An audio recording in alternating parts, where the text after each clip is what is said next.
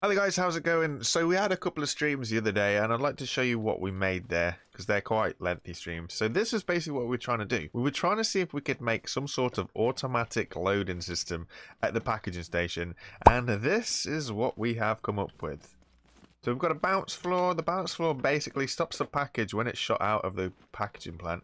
It stops it from kind of tipping and rocking over. So it hits this and then it gets passed down this system to our waiting truck, which was another build that we did on the, the stream.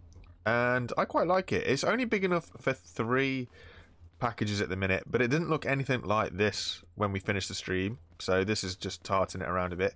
It can all be built with survival blocks only.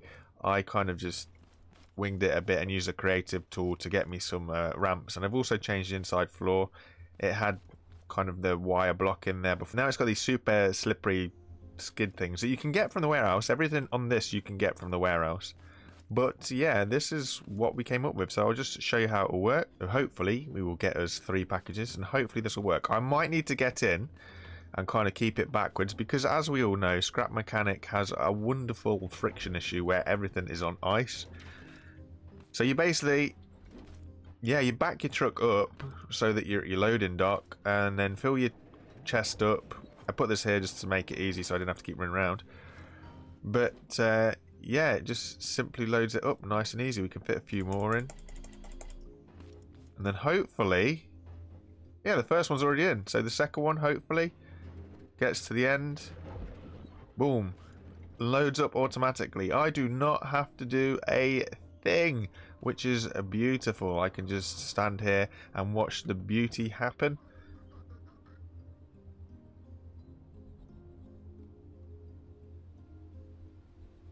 And that is it. That is our truck fully loaded and we are ready to go.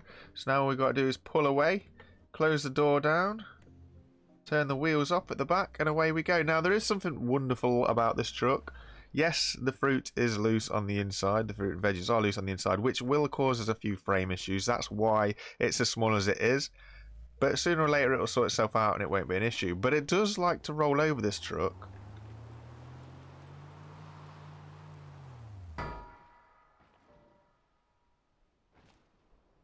I was going to show you something, but I need it to roll over rather than get back up.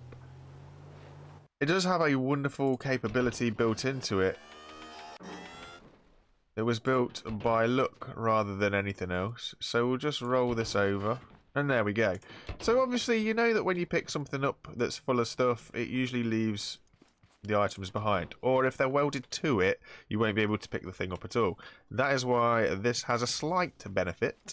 Because they are loose inside, I can pick my vehicle up and not have to worry. Oh dear, our goods are on the floor. Whatever shall we do? Well, this is where this truck kind of comes into its own. So if we open the door and we run these wheels up, we can back up. But I've also built in a sneaky little helpful tool with this truck. And it's this. So these wheels at the back have opened up. They've come out sideways. So now if we just back up straight onto this piece of tomatoes and close those wheels in, it just scoops up the veggies from the floor and loads it into the back of the truck. Nice and easy. We don't have to worry about losing any fruit or veg on the floor. We're able to pick it up. We're able to keep it all nice and closed inside. And we're able to drive off to the trader where we can unload. I thought you guys might be interested. You might not. Thought it was an interesting little concept that you could do to kind of just load up things rather than having to do it manually.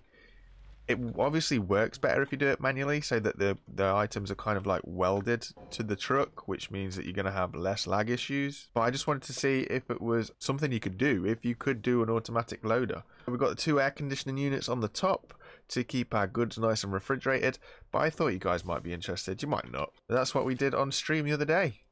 Thanks for watching, you guys. I will see you again next time. Bye for now. Bye.